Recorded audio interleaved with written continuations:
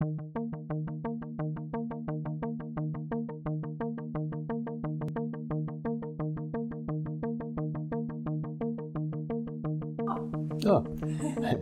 I'm Hans Ede. I'm uh, 64 years old and uh, living down in Camden.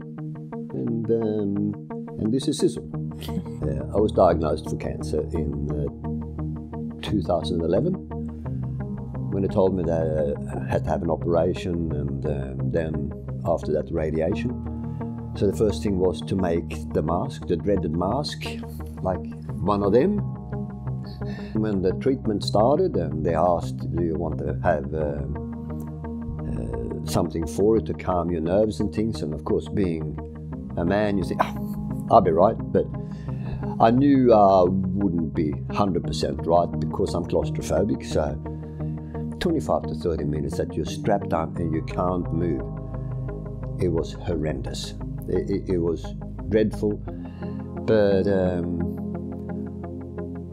I can take a lot of things.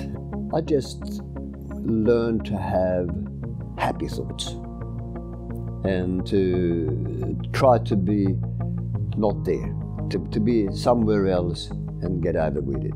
And after that, I recovered and um, I wasn't a nervous wreck, that's not the right thing to say, but I felt very uncomfortable to be in confined spaces after that uh, as well. And then um, recovered and went back to work, and life was pretty good again. Two years later, the cancer came back on the other side of my neck. So we had to do it all over again. I would have been in for a couple of minutes and I was waving my arms madly. I said, I can't do this, and I come back out again. So then they had to give me a sedation and um, had to wait them half an hour for that to take place and things and try it again. So um, that, that was pretty traumatic. But uh, then I heard that a lot of people need to be sedated every time. Two out of almost 60 treatments, I freaked out, but I did it, and uh, I'm pleased that I did. I've been cancer free for five and a half years now. So in my book, I'm cured.